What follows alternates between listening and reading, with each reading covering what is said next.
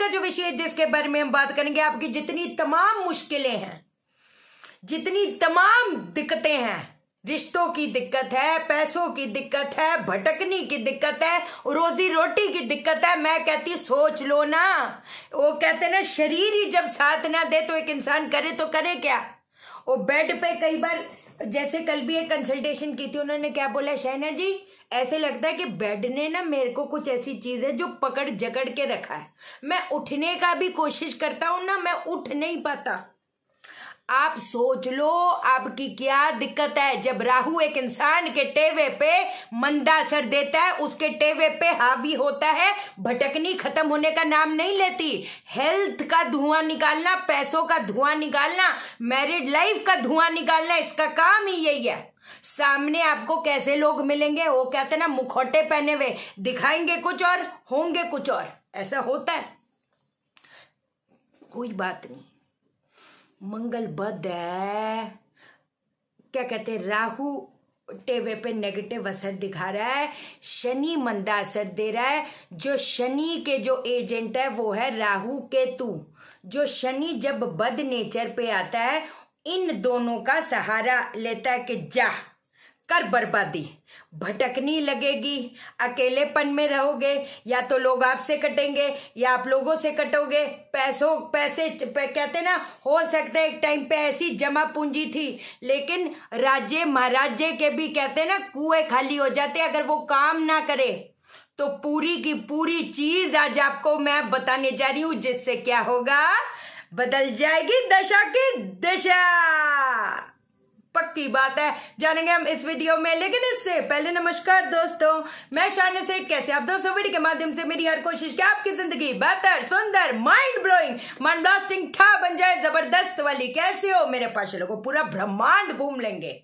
जो लेवल की चीज़ आज आपको मैं बताने जा रही हूँ, ए ओपन चैलेंज है शाइना सेठ का। आज तक नहीं सुनी होगी। लाखों रुपए की शांतियाँ कराते हो। हाँ जी, ये है तो ये ये शांति करानी पड़ेगी, वो शांति करानी पड़ेगी। अरे भाई साहब सोचो तो सही। अगर किसी का 1964 से ग्रह नेगेटिव है, एक बार की शांति, हर हफ़्ते ये चढ़ावा करना पड़ेगा। कैसे होएगा? जो इस ब्रह्मांड में, वो हमारे पिंड में, हमारे शरीर में, जहाँ पर डायरेक्टली वो कहते ना, ग्रह की वाइब्रेशन आ रही है, आप उसको छोड़ देते हैं। आप वो हिरण बन चुके हैं, वो कहते हैं ना, मड़ी का है, मड़ी का है। मड़ी तो उसके पास ही है, फिर भी भटके जा रहा है, फिर भी भटके जा रहा है।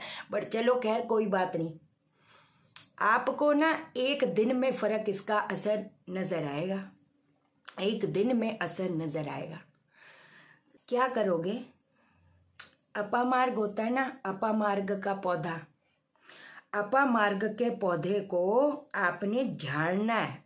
रूट समेत ले लो। जड़ समेत अपामार्ग का पौधा ले लो और उसको झाड़ते जाओ झाड़ते जाओ।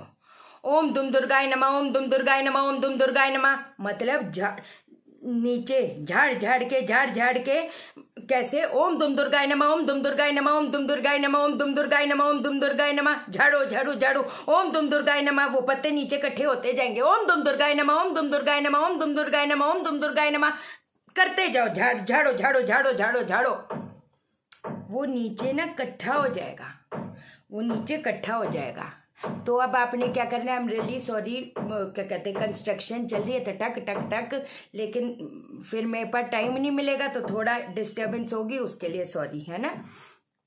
ओम तुम दुर्गाय नमा, ओम तुम दुर्गाय नमा, ओम तुम दुर्गाय नमा, ये किया। उसके बाद आपने क्या करना है? इन पत्तों को आपने जला देना है। इसकी राख बना लेनी है।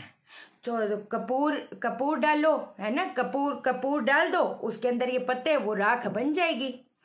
उसके बाद आप क्या करेंगे उसके बाद इसमें थोड़ा सा जल मिलाएँगे अब इसको अपने ओम दुम दुर्गाय नम ओम दुम दुर्गाय नम ओम दुम दुर्गाय नम ओम दुम दुर्गाय नम ओम दुम दुर्गाय नम ओम दुम दुर्गाय नम ओम दुम दुर्गाय नम ओम दुम दुर्गाय नम ओम दुम दुर्गाय नम ओम दुम दुर्गाय नम ऐसे कर करके कर करके ऊपर से नीचे तक ऊपर से नीचे तक ऊपर से नीचे तक राहु सवार है, केतु सवार है, शनि सवार है मंगल बद है। है क्या? इस चीज़ को अगर आप कंटिन्यूटी में करते हो थोड़ा थोड़ा लो ना। आपने एक बार जला ली, उसको साइड में रख दो। थोड़ा लो रोज, उसमें थोड़ा जल डालो। उसको आधा एक घंटे तक, मैं तो कह रही अगर कर देते हो, इसका कोई जवाब नहीं है। इसका कोई जवाब नहीं है, मैं आपको बता रही हूँ। हम बहुत खुश नसीब हैं कि हमारे पास ये चीज़ है। जो असली चीज़ें है ना, वो तो उसके बारे में कोई बात नहीं करना चाहता, कोई बात करता क्या किसी को मालूम नहीं है। सौ में से एक या दो जो प्रॉपर और अगर एक इंसान अगर ये चीज़ों का दामन पकड़ लेगा मैं कहती, हमेशा आपको समझाए, बीस परसेंट घटे तो घटे है, चालीस परसेंट है, जो हमारी पत्री पैंतीस परसेंट वास्तु वास्तु भी आपको कितना डिटेलिंग में आपको बता रही हूँ। उसको उसको एक एक चीज़ को मैच कर करके, ये वाले इलाज कर करके, चलो कौन रोक पाएगा आपको? अब इसकी हमने बात की। एक और, कहते हैं ना, राहु जब प्रभावित होता है एक इंसान पे, उसकी भटकनी लगती है। चाहे वो रिश्तों में भटक रहा है उधर रिश्ता कर रहा है, टूट रहा है, इधर टूट रहा है, टूट रहा है, टूट रहा है। मतलब है ना? बहुत ज़्यादा कलेश, बहुत ज़्यादा वो कहते हैं ना, कई बार एक इंसान परेशान हो जाता है कि मैं जिससे, जिसके लिए सोचता हूँ वो ही मुखौटा पहना हुआ है। जिसके साथ करता हूँ वो ही जूता मार के जाता है। ऐसा तो होता ही है। जहाँ मैं काम करने, दूसरे के लिए काम करने के लिए जा रहा हूँ तो उसका काम हो रहा है। जहाँ अपने लिए कुछ काम करने के लिए जाऊँगा तो वो नहीं होएगा। गर्म पानी करो, गरम पानी गरम पानी के अंदर फिटकरी डाल दो। और पैर की एड़ियों से थोड़ा सा ऊपर, पैर की एड़ियों से थोड़ा सा ऊपर, उसको डुबा के थोड़ा टाइम बैठा करो।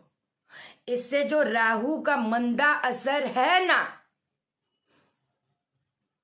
दूर होता जाएगा। दूर दूर दूर दूर। आप करके देखो मैं क्या आपको बोलूँ? आप खुद करके देखो और ज़रूरी नहीं है कि दुनिया ही गलत है। हमारा ही कई बार बिहेवियर ऐसा अजीब सा हो जाता है कि लोग बात करना आपसे पसंद नहीं करते। हम हमेशा दूसरे की गलती वो ऐसे करके, वो कहावत भी है ना, वो बोला जाता है कि जब हम ऐसे उंगली कर रहे हैं तो इतनी उंगली हमारी तरफ़ है। हम अपने बिहेवियर को कई बार नहीं देखते, लेकिन बाद में कई बार हम पछताते भी है, यार, ये मैंने क्या बोल दिया? ये मैंने क्या कर दिया? एक इंसान अपनी, वो कहते हैं ना, पैर पे बार बार कुल्हाड़े मारे जाए तो किस्मत भी क्या करेगी, ग्रह भी क्या करेगा, भगवान भी क्या करेगा? बैठा करो। नहीं डिप्रेशन भी होता है, वो कहते हैं डिप्रेशन तो ऐसी चीज़ है, चौबीस घंटे सुइयाँ चुभती रहती है। हमेशा बताया फ़िज़िकल चोट कुछ ना है। जो मेंटल इमोशनल चोट है, जो आपको 24 घंटे बेचैनी देती है, कहीं पर आपका मन लगने नहीं देती। हमेशा आपको एक चीज़ और समझाई है मंगल अगर बद है तो चंद्रमा को नेक करो, है ना? अगर राहु बद है तो चंद्रमा को नेक करो। तो यहाँ पर क्या है? राहु कितना इंपॉर्टेंट रोल प्ले करता है। समझे मेरी बात को कि चीज़ें कंट्रोल हो जाए चीज़ें कंट्रोल अपने हाथ में आनी शुरू हो जाए। एस्ट्रो वास्तु प्रोफेशनल कोर्स की रजिस्ट्रेशन ऑन है जनवरी वाले बैच के लिए। अरिका शायद वो अंतरमन हीलिंग पे कोई वीडियो हमने डाली नहीं। अब से करना शुरू करूँगी। थोड़ा कंसल्टेशन कल भी वीडियो नहीं बनाई क्योंकि बैक टू बैक कंसल्टेशन थी। अब जिनको जो जो इतने दिनों से वेट कर रहे हैं, किस मुँह से बोलूँ मैं आपकी कंसल्टेशन नहीं कर सकती। उस पर एक एक करके हम वास्तु को भी कवर अप करेंगे और जो जनवरी वाले बैच के लिए इंटरेस्टेड है, अगर मेरे मैसेज का रिप्लाई नहीं आया तो एक बार फिर से मैसेज कर दो। ठीक है जी? चैनल को सब्सक्राइब करो, मेरा दिल अपने दिल से जोड़ लो वीडियो को लाइक करो शेयर करो, इसलिए करो, सबकी ज़िंदगी ठा हो जाए। ओके देन बाय नमस्कार